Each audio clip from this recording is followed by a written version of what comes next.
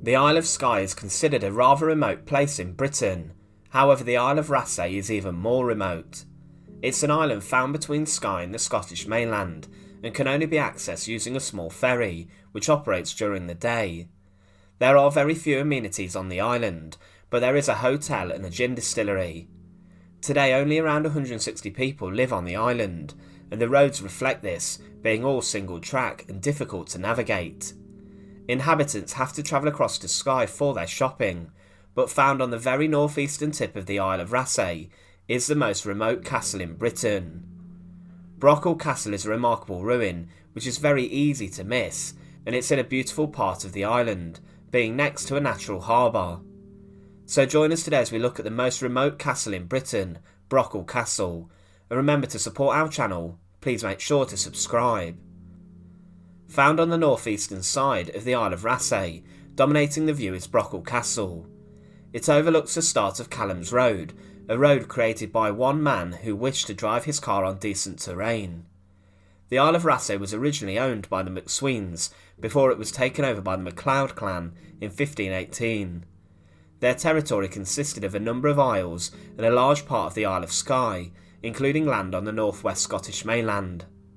Brochel Castle was built around the late 15th and early 16th century, and it's believed it was most likely built by Raasay's first MacLeod chief, Callum, who had been given the land by his father, the ninth chief of Lewis. At the time, this island had become a rather notorious place for pirates who operated in the area. Their work threatened the trade routes around the island, and it's believed Brochel may have been created as Callum MacLeod's main residence on the island. The castle proved a rather spectacular vantage point so that he could see out and observe the actions of pirates and help to guard the trade routes. Next to the castle is a rather beautiful natural harbour that allowed ships to be pulled up onto the shoreline, and the castle provided a good base for the MacLeods to control their lands and territory. They could use it as a good base also to travel to different areas. The castle was first mentioned in 1549 and was one of two castles on the island, and it was described as a strong little castle and was said to have been a fort three stories high. The castle complex was made up of four different towers, and each one was linked by a short stretch of outer wall or the rock face that it sat on itself. Access to the coastal side was controlled by a well guarded gatehouse, which contained a sentry post which can still be seen today. A walkway over the gate was present too, which also offered a good vantage point, and next to this was bedrock and the curtain wall enclosing the castle. This gatehouse was at least two stories. The castle, it's clear, was built on a rather cramped hill or mound, and this meant that some of the towers were much smaller than possibly wished. The kitchen tower was on the southwest side and also facing the sea, and it could have been used as another form of defence if anyone went to attack Brochel Castle. Standing in the inside courtyard of the castle, the tallest tower was on the northwestern side. Today there is very little that remains on the outline of the tower on the highest piece of rock. However, illustrations from the 19th century show the three story castle standing still proud, complete with all aspects of a castle you would expect battlements and crenellations for defence, as well as windows. The final tower on the northwest side is the tallest standing today, and is the most complete, but this was used as a nursery room, which could be found on the second floor. At the bottom of this tower was a toilet built into the side of the wall. There have also been very few accounts written of Brochel Castle and about those people who lived there at the time. However, by the late 1600s, the MacLeods had moved into a more modern and spacious residence, and Brochel began to fall into a state of disrepair and ruin. Over time, accounts have been written from travellers who describe Brochel and what it looked like, but today it's in a rather dangerous and decaying state, and unfortunately in the near future it may not be there much longer. The castle was described in the 1700s as situated upon a rock very near to the sea.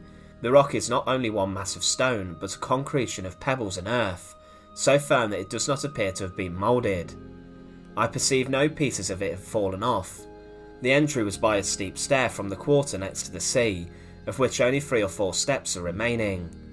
There is an opening in the wall on top where hot water and stones could be thrown onto an invader. Upon entering the gate or door, there was what I have never seen before, a sentry box or alcove in the wall on your right hand.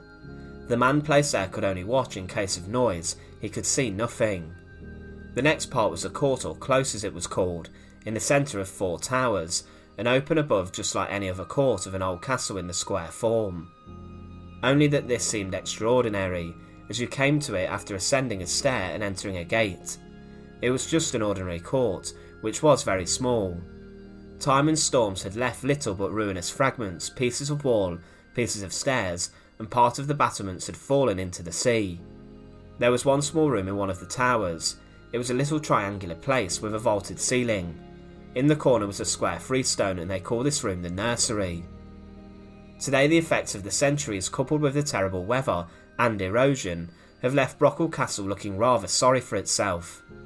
Nothing remains today of the tallest tower, and little remains of the gatehouse or stairway entrance into the courtyard. In 1921, the castle was surveyed, and a sea facing wall was still standing, but in the past 100 years this wall has collapsed and fallen. What is incredible though is the craftsmanship used to create Brochel Castle. To sculpt a castle on a small rocky outcrop was an architectural masterpiece.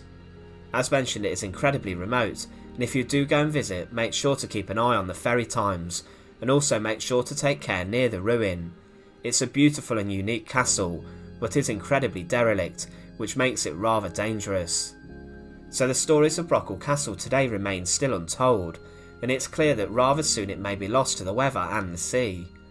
It's definitely worth a visit to take in the spectacular scenery including the harbour and small beach nearby. While stood nearby though you can imagine the former clan chiefs stood observing pirates from afar and planning an attack if they would land nearby on the island. Once again thanks for watching. To support our channel, please make sure to subscribe and once again, thank you so much for watching.